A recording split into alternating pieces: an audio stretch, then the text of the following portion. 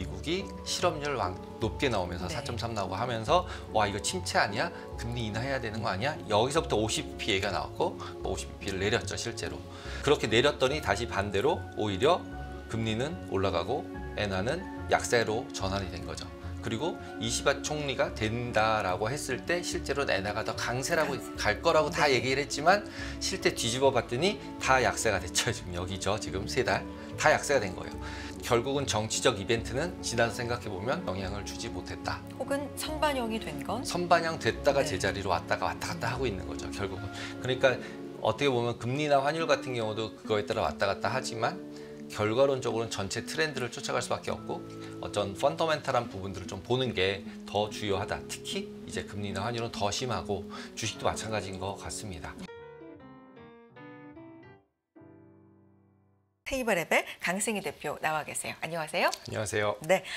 지금까지는 뭐 미국 얘기 많이 했고요. 대선 얘기 많이 했는데 지금 사실 금융시장에서 또 중요하게 보는 한 축이 있잖아요. 엔화. 네. 네, 오늘 이 부분 좀 말씀해 주신다고요. 어, 일단은 보통 이제 화요일 날은 제가 실질적으로 어떤 뉴스들을 잘 보고 네. 지금 내가 뭘 해야 되지 뭐 이런 걸 하나 골라서 이제 말씀을 드리고 있거든요. 네. 그래서 지금은 예전에 몇 달 전만 해도 갑자기 뭐 엔 캐리 음. 트레이드 청산이다 이러면서 또 그다음에 엔화가 싸다 그래서 엔화를 빌려서 이제 미국 국채 사는 ETF들 이런 얘기 되게 많이 하셨었잖아요. 그리고 그게 뭐 청산되면서 청산되면서 또 뭐 그래서 충격. 어 이제 좀 네. 돈좀 벌었었다 뭐 이렇게 됐는데 네.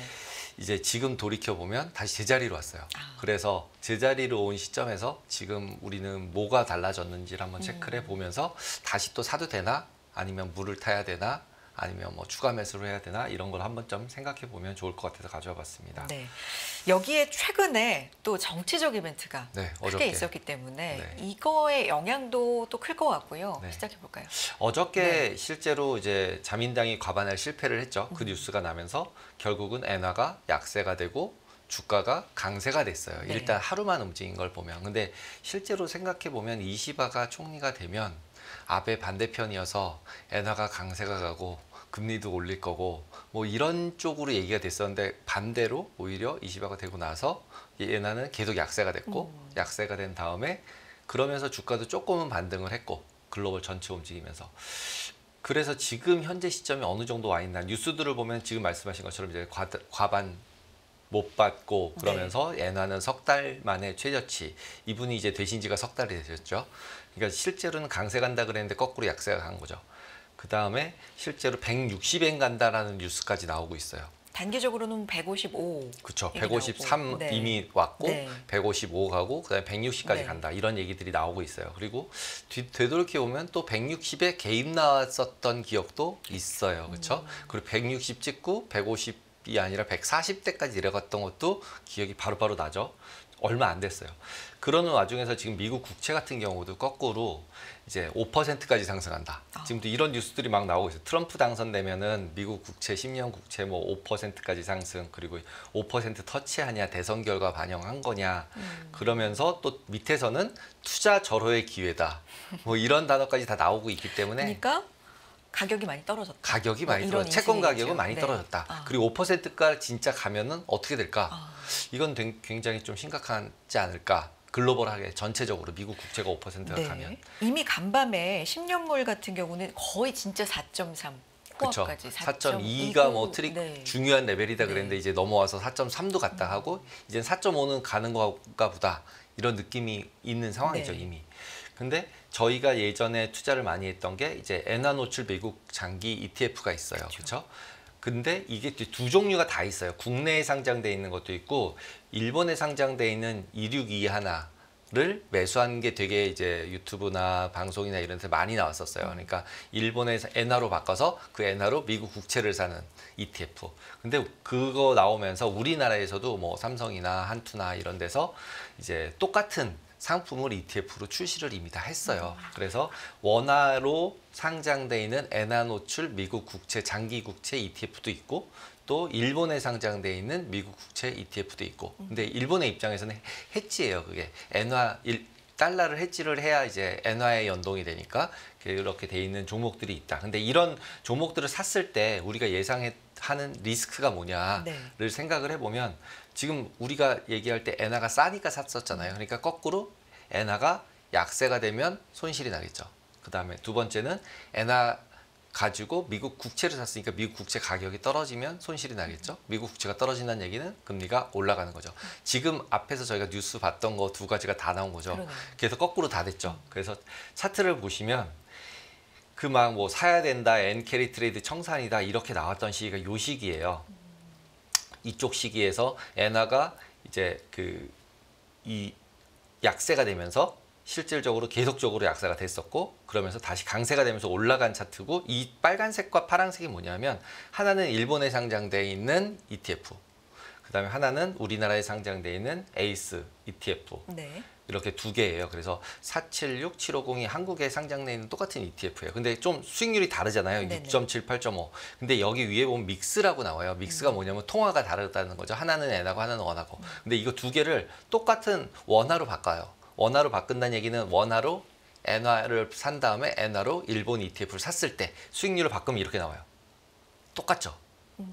결론은 어느, 어느 쪽 거를 사던 그렇게 수익률 차이가 크지 않다. 결국은 엔화로 바꿔서 일본 ETF를 사든 아니면 원화로 상장돼 있는 ETF를 사든 큰 차이가 없다. 수익률 상으로. 근데 여기는 세금 차이가 크겠죠. 네네. 한쪽에서는 외국 주식을 산 거고 한쪽에서는 한국에서 해외 자산을 샀기 때문에 세금이 완전히 달라요. 그렇기 때문에 꼭 개인의 그 금액에 따라서 세금을 생각해서 어, 매매를 하셔야 된다라는 부분도 팁이 여기서 되겠죠. 수익률 차이는 없다. 수익률 차이는 없지만 세금 차이가 크다. 네. 그래서 결국 세후 수익률이 차이가 생길 것이다. 금액에 따라서. 중요하네요. 그래서 그걸 네. 꼭 체크를 해보셔야 된다 라는 말씀을 드립니다. 그리고 이제 원화 거 할 때는 금액이 적으시던 크시던 ISA나 퇴직연금 계좌에서 하시면 상관이 없는데 이제 주식 계좌에서 하시면 실질적으로 세금이 조금 문제가 됩니다. 음. 네. 중요한 팁이에요. 네. 그리고 지금 이제 지금까지 말씀드렸던 걸 한 번에 와장창 넣었어요. 다 넣었는데 금리, 환율, 주가 지수 다 넣었는데 아 이거 잘 봐야 될것 네, 같은데요. 그림이 조금 어렵죠. 음. 이게 상장된 게 3월 달에 주로 상장이 됐어요. 이 ETF들이. 조금 아까 말씀드린 ETF들이 지금 여기 밑에 있는 빨간색과 파란색은 위에 있는 칸에서 그게 앞에서 보여드렸던 ETF 두 개예요. 네네. 두 개를 환율을 이제 원화로 다 바꿔놓은 환율로. 그런데 차트를 딱 보시면은 이 노란색이 미국 금리 10년짜리 10년짜리 금리예요. 네. 10년짜리 금리가 열심히 내려오다가 다시 오르죠. 금리 인하를 하고 난 다음에 네. 올랐어요. 그죠? 네. 그리고 지금 여기 앞부분, 여기 줄 쫙쫙쫙 거는 부분이 엔캐리 트레이드 청산한다고 난리 났던 시기예요. 음. 우리나라 블랙 먼데이 있었던 세로 줄 시기. 있는 네, 세로 줄. 있는 이 세 개. 네, 네. 이때가 이제 시작한 거였고 그래서 엔화가 약세야 이러면서 쭉 내려갔던 거 엔화 강세 돌면서 쫙 올랐죠. 음. 근데 밑에 가서 보시면은 실제로 노란색 같은 경우가 러셀이에요. 아 기억나시는지 모르겠지만 러셀은 오르고 나스닥이 빠져서 순환매다 있었어요. 트레이드 시작이다 이랬던 시기가 7월 9일이에요. 네. 7월 8일, 7월 9일. 그러면서 러셀이 너무 급등을 했었어요. 그러면서 이제 순환매라 그러면서 위에 가서 봐- 보면은 엔화가 결국 강세가 일어났어요. 음. 그래서 딱 그 시기에 일어나면서 엔화가 트리거가 되면서 위로 팡팡팡 올라가요. 하얀색은 원이엔이고요. 그 다음에 녹색이 엔 달러예요. 네. 그래서 우리는 이제 원화로 엔화를 사서 트레이딩을 할 거기 사는 거기 때문에 원엔도 두 개를 같이 그린 거예요. 그래서 두 개를 보시면은 실제로 아 이게 진짜로 이때 당시 이렇게 급등을 할 때 엔이 강세가 됐었구나를 기억할 수 있고 그러면서 그 다음에 먼데이 블랙 먼데이가 일어났을 때 실제로 급락했을 때 보시면 꼭지예요. 환율도. 8월 초. 네, 8월 초, 네. 8월 5일 꼭지죠. 완전히 엔화도 꼭지예요. 네. 근데 그때 주가는 폭락을 했었어요. 네네. 결론은 거꾸로 뒤집어서 보면 결국은 뉴스들이 막 나와서 난리가 났을 때는 이제 오히려 반대로 해야지 되나 보다. 음. 라는 걸 여기서도 그냥 딱 알 수 있죠. 완전히 블랙 먼데이다 그러면 블랙 먼데이 샀으면 지금 여기 저 바닥에 샀죠. 음. 주식으로 보면 밑에는 주식들을 네 가지예요. 니케이, 나스닥, 러셀, 코스피 네 가지인데 좀 슬프게도 여기 밑에 이렇게 쭉 있는 애가 아 예, 네. 우리죠. 이제 코스피죠. 그리고 이제 니케이 그 위에 맨 위에는 나스닥. 네. 그리고 러셀이 있어요. 그러니까 러셀 같은 경우도 생각보다 굉장히 급등을 했었는데 여기서 보시면 러셀도 생각해 보시면 올라갔다 내려간 게 사이가 상당히 커요. 결국 여기서 열로 가도 그냥 보합이죠. 이렇게 급등을 엔캐리 트레이드 청산이라고 급등을 시켰지만 지나고 난 다음에 제자리로 왔어요. 제자리로 왔을 때 N 달러도 보면은 많이 내려왔어요. 결국은 시장은 항상 오버하게 쏠려서 간다. 그리고 쏠려서 가면 제자리로 온다. 그래서 뭐 코스탈린이나 얘기하는 것처럼 이제 강아지가 뭐 끌고 가면 위아래로 왔다 갔다 한다. 그걸 여실히 여기서도 볼 수 있는 거죠. 그럼 지금 추세가 뭐냐라는 부분에서 봤을 때는 주가가 계속 올라갈 것 같아 라고 볼 건지 아니면 금리나 환율도 그 이 방향으로 계속 갈 건지 볼 건지 의사 선택을 해서 투자를 하는 거죠. 주식 쪽은 마찬가지로 이제 주식 쪽 관련된 걸 사면 되는 거. 한국이든 미국이든 개별 종목이든 ETF든. 근데 지금은 보려고 하는 거는 금리랑 환율이죠. 앞에서 본 것처럼. 그래서 금리랑 환율 부분만 끊어내서 보면 지금 줄 거는 거는 아까 그 화면 그대로거든요. 네. 여기가 이제 블랙 먼데이가 있었던 시기다라고 생각을 하시고 지금으로 이제 넘어와서 이 뒤를 봐야 되잖아요. 우리는 항상 여기서 어떻게 될까? 그러면은 지금 여기 하얀색으로 선 거져 있는 계속적으로 이게 약세가 돼서 밑으로 내려갈까? 아니면 엔화가 다시 강세로 돌까? 그 다음에 미국 금리가 이렇게 막 올라왔는데 이게 다시 계속 올라갈까? 5%까지? 아니면 다시 내려갈까? 근데 이쪽 6월 달 기준으로만 봐도 4.6 정도까지는 갔었어요. 4.7까지 거의 10년짜리 금리가 4.7에 있던 게 뭐 지금 4.7 가면 뭐 막 난리가 날 것 같이 생각하지만 그냥 5월 달만 가도 4.7, 6, 4.7 간 적이 있어요 이미. 그렇기 때문에 여기서부터 여기까지 이제 금리 인하한다 그러면서 굉장히 빠졌고 실제로 이 폭락을 시켰던 가장 큰 이유도 미국이 금리를 인하를 크게 할 것이다. 실업률 왕 높게 나오면서 네. 4.3 나오고 하면서 와 이거 침체 아니야? 금리 인하해야 되는 거 아니야? 여기서부터 50bp 얘기가 나왔고 그러면서 뒤에 와서 50bp를 내렸죠 실제로. 그래서 보시면은 그렇게 내렸더니 다시 반대로 오히려 금리는 올라가고 엔화는 약세로 전환이 된 거죠. 그리고 이시바 그 총리가 된다라고 했을 때 실제로 엔화가 더 강세라고 강세. 갈 거라고 다 네. 얘기를 했지만 실제 뒤집어 봤더니 다 약세가 됐죠. 지금 여기죠. 지금 세달 다 약세가 된 거예요. 그러면은 지금 이거를 이게 지금 20에 된다고 그래가지고 올렸던 거였는데 엔화를 그랬는데 되고 나서 다 내려버렸어요. 결국은 정치적 이벤트는 지나서 생각해 보면 별로 영향을 주지 못했다. 혹은 선반영이 된 건 선반영 됐다가 네. 제자리로 왔다가 왔다 갔다 하고 있는 거죠. 결국은. 그러니까 어떻게 보면 금리나 환율 같은 경우도 그거에 따라 왔다 갔다 하지만 결과론적으로는 전체 트렌드를 쫓아갈 수밖에 없고 어떤 펀더멘탈한 부분들을 좀 보는 게 더 주요하다. 특히 이제 금리나 환율은 더 심하고 주식도 마찬가지인 것 같습니다. 그래서 지금 여기서 보고 싶은 거는 이게 계속 내려갈 거냐 또는 계속 금리가 계속 올라갈 거냐 두 개 중에 선택을 하셔야겠죠. 선택을 할때 네. 지금 일본만 볼 게 아니라 또 네. 일본의 정치적 상황 이런 거 당연히 중요하고 변수가 되고 있고 네. 네, 되겠지만 미국이 네. 또 중요하잖아요. 실제로는 기- 돌이켜서 딱 봐도 그때 50bp 인하한다 그래서 문제가 시작을 한 거였어요. 왜냐하면 결국 미국하고 일본하고의 금리 차가 문제니까. 그렇죠. 예. 그래서 지금 보면은 그럼 미국이 금리를 계속 올릴 것 같아? 이걸 또 체크를 해봐야 되잖아요. 근데 이제 지난주에 나온 블룸버그 뉴스를 보시면 어, 뉴스 하나를 제가 그냥 간략하게 요약을 해온 건데 정, 미국에서 이자 비용이 너무 국가 이자 비용이 너무 커지고 있다. 그리고 대한 국가 부채에 대한 네, 부채에 대한 이자가 너무 커지고 있다. 네. 정치적 리스크가 증가한다. 네. 그래서 이자 비용 같은 경우 8,820억 불로 늘어나고 있고 국방비를 이미 넘어서서 음. GDP의 3% 정도를 차지한다. 이게 90년도 이후에 제일 높다. 그다음에 네. 이게 정치적 위험을 증가시킨다. 정치적 아. 위험이 또 선거랑 연동이 돼 있잖아요. 그래서 지금 여기서 계속 여론전이 나빠지면 해리스가 되든 트럼프가 되든 선거 불복이 어쩌고 뭐 이런 얘기 나오면서 정치적으로 왜냐하면 살기 힘들면 무조건 반대하고 싶잖아요. 그런 상황이 발생하는 리스크가 커진다는 얘기를 하는 것 같아요. 그 다음에 재정 적자나 인플레이션 문제도 생긴다. 왜냐하면 지금 재정 지출을 늘리겠다는 게 양쪽 다 후보의 누가 되든 누가 네네. 누가 되든 네. 네. 그런 상황인데 그러면 이자 비용은 더 증가하겠네. 그러면서 차트를 그려놓은 게 이거예요. 그 뉴스에서의 차트인데 결국 net interest payment 그러니까 국가가 내고 있는 세, 그 이자가 이렇게 급등을 해서 올라가요. 너무 일자로 올라가죠. 근데 부채도 이렇게 계속 올라가고 있어요. 근데 평균적인 금리 자체가 거의 0쪽으로 1, 2% 이하에 있다가 이렇게 올라와 버리니까 결국은 얘가 금액도 올라가고 이자율도 올라가니까 얘는 더 올라가죠. 근데 지금 거꾸로 생각해 보면 어, 지금 부채를 더 늘리겠다 그러고 있죠. 네. 그럼 얘가 또 더 올라가겠네. 근데 금리를 내려서 얘를 좀 낮춰야 되잖아요. 그렇죠. 근데 금리가 계속 올라갈 수 있을까? 라는 물음표가 좀 들죠.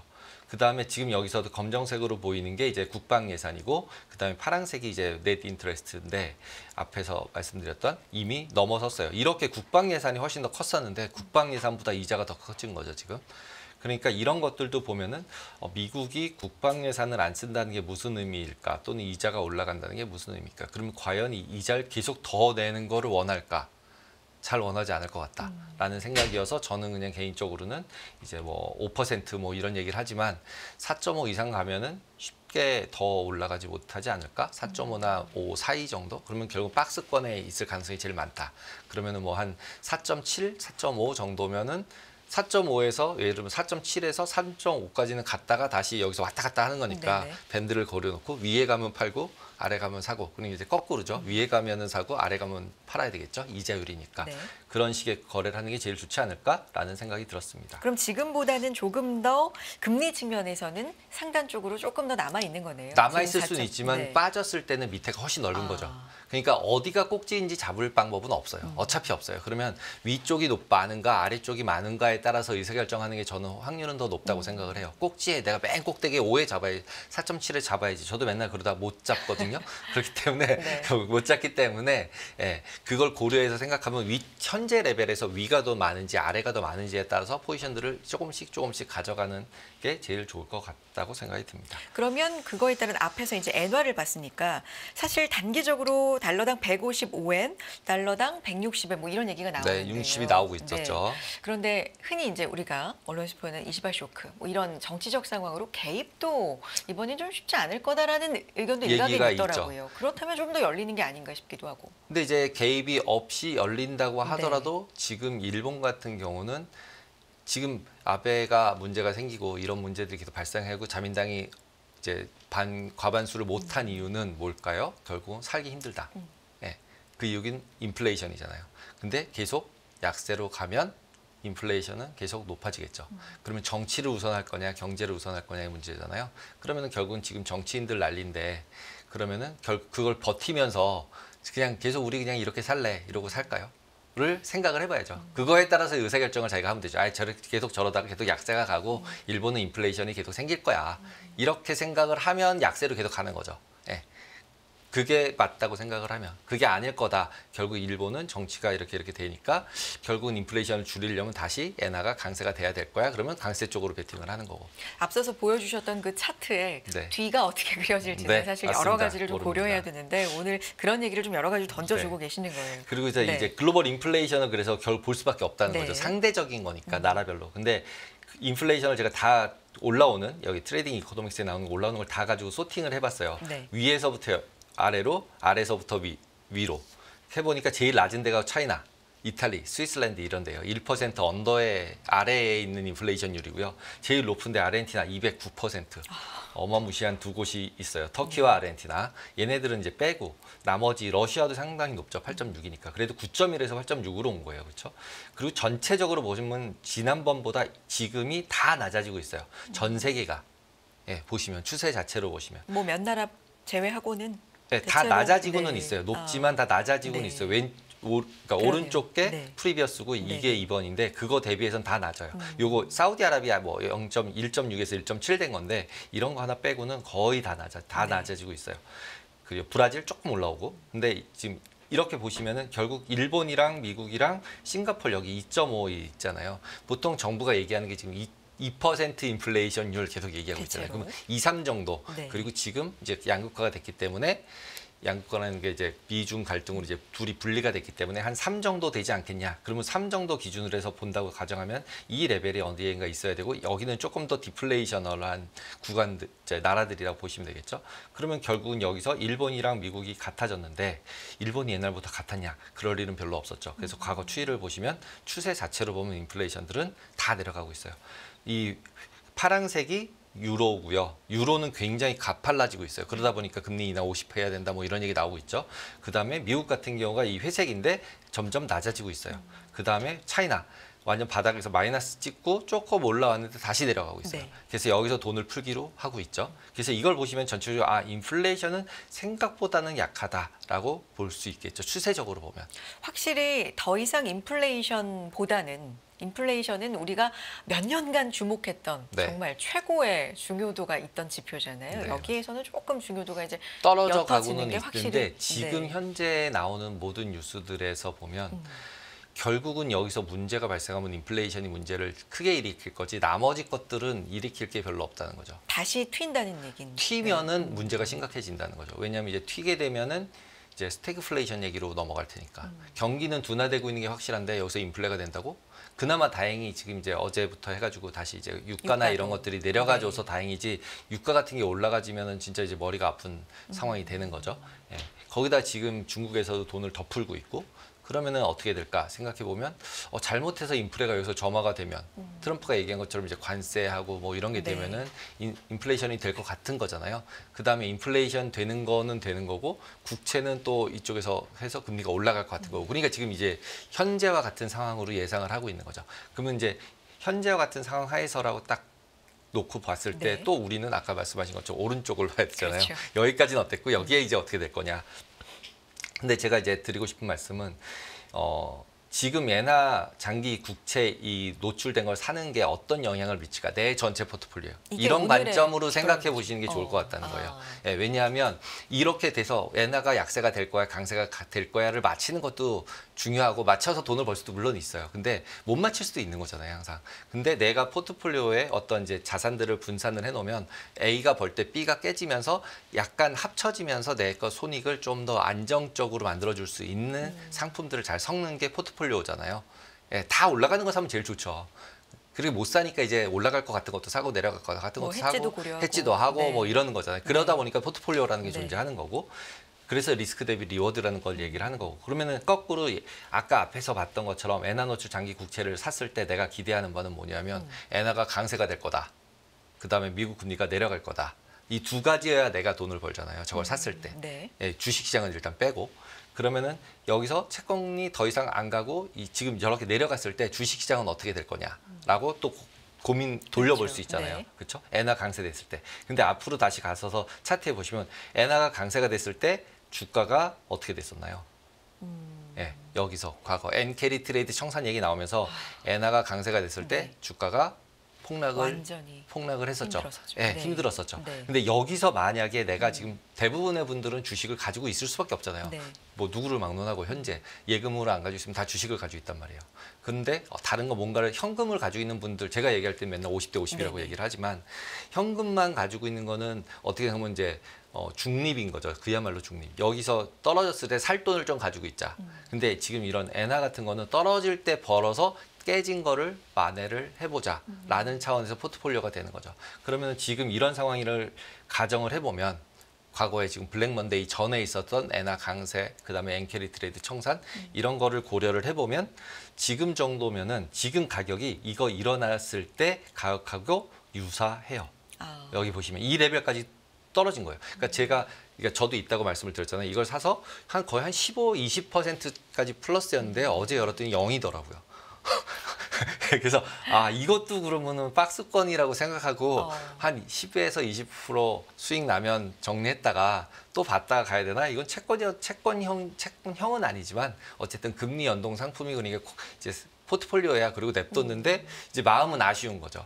예, 먹었을 때 걷었어야 되나? 근데 지금으로 다시 내려왔으니까 여기서 다시 사도 되나? 아니면 추가를 해도 되나? 이런 거를 충분히 고려할 만한 시기가 되지 않았나라고 생각이 들고 앞에서 쭉 보여드린 것처럼 이 미국에서 금리가 더 오를 건지 아니면은 어 일본이 계속적으로 엔화 약세를 일으키면서 인플레이션을 어 맞아도 되는 건지 어떤 쪽을 정치인들이나 경제인들이 선호를 할 건지를 보시고 어 포지션들을 생각해 보시면 좋지 않을까 투자 전략을 세워보면 좋지 않을까라는 생각이 듭니다. 그러니까 그 뒤의 그림을 우리가 예측을 하기는 불가능이고 네. 네.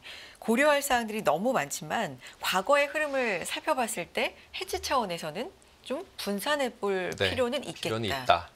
오늘 네, 그런. 차원의 말씀이시고 그럼 개인적인 생각이시니까 네, 제 지금 사기에 괜찮은 저는 거예요? 어. 저도 그래서 이제 다시 본전이 됐으니까 옛날에 많이 사지 못한 게 아쉬웠거든요. 왜냐하면 여기서 보시면은 네. 너무 빨리 올라갔어요. 음, 예, 너무 빨리 올라가서 조금 사고서 이만큼이 확 올라가서 못 샀거든요. 그러니까 지금은 그러면 그때 샀다고 생각하고 많이 샀다고 생각하고 조금 더 사볼까? 뭐 이런 생각을 하게 되는 거죠 결국은. 예.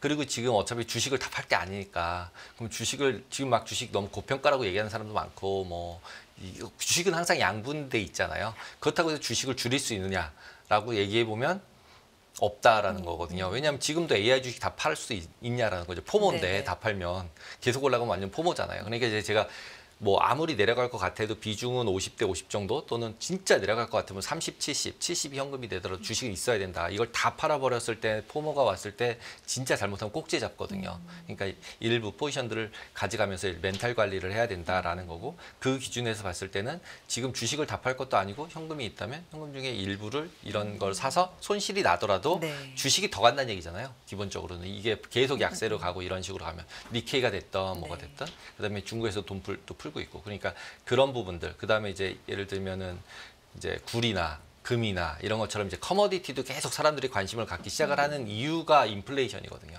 그렇기 때문에 인플레이션 헤지가 뭐가 될까? 이걸 계속 고민하고 있는 거기 때문에 포트폴리오를 좀 이렇게 다양화 시키면서 실질적으로 어, 전체적으로 안정적인 수익을 추구할 수 있는 방향으로 가는 게 좋지 않을까라고 생각을 합니다. 알겠습니다. 달러와 엔화 얘기했으니까 원화 얘기도 잠시만 좀 짚어보면 좋을 것 같은데 지금 1,400원이 뭐 육박 예, 갈 거냐 말 거냐 원화는 지금 기준이 또 그렇거든요. 원화가 슬프죠. 네. 지금도 악- 이 차트에서도 네. 제가 원옌을 그린 게 흰색이 네. 원옌이에요. 그러니까 원 팔아서 옌 사라거든요. 이거 지금. 아, 예, 솔직히.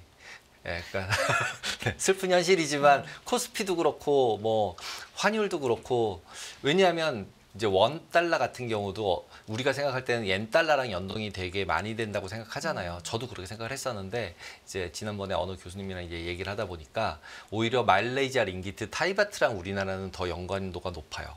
높대요. 그래요?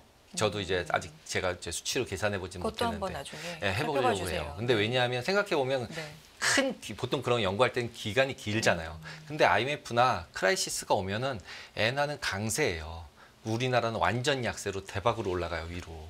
막 2천 원 가는 거잖아요. 우리는 IMF니까. 근데 그 당시에 보면 이 엔화는 굉장히 강세예요. 다 대부분. 그러니까 당연히 correlation이 그런 위기 상황에 correlation 낮은 거는 맞아요. 근데 위기 상황 아닐 때는 비슷하다는 거죠. 그러니까 전체 기간으로 놓고 보면은 우리나라 통화는 어떻게 보면 말레이시아랑 비슷한 거죠. 엔화랑 비슷한 게 아닌 거예요. 예. 그렇기 때문에 결국 지금도 crisis가 이제 뭐 장단기 금리차 역전돼서 뭐 위기 온다 난리를 치고 있었는데 안 와가지고 지금 어 이상하다 이러고 있잖아요.